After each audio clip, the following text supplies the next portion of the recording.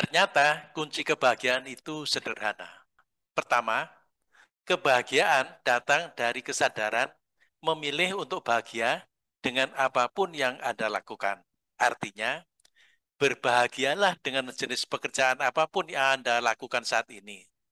Bila hal tersebut tidak bisa Anda lakukan, segera upayakan untuk ganti pekerjaan tersebut dengan pekerjaan yang bisa membuat Anda bahagia. Agar hidup bahagia, Anda perlu melakukan pekerjaan pada hal-hal yang Anda kuasai.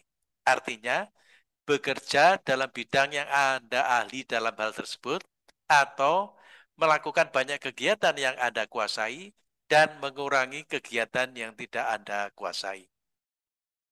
Orang yang bahagia benar-benar menikmati apa yang mereka kerjakan. Selain itu, orang yang bahagia juga menyatakan bahwa mereka saat tersebut sedang mengejar impian mereka.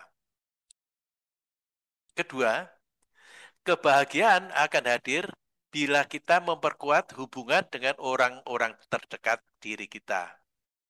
Oleh karena itu, luangkan waktu dan sumber daya Anda untuk membangun kedekatan dengan suami, istri, anak, saudara, dan teman dekat.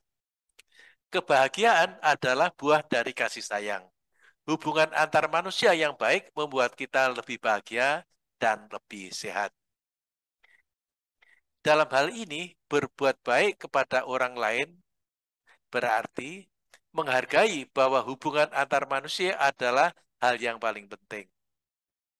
Dalam persaudaraan atau pertemanan, jadilah orang yang memberi kontribusi, bukan hanya ingin meminta. Salah satu kunci kebahagiaan adalah berinvestasi dalam hubungan dengan orang-orang terdekat, apakah itu pasang hidup, orang tua, saudara kandung, atau teman.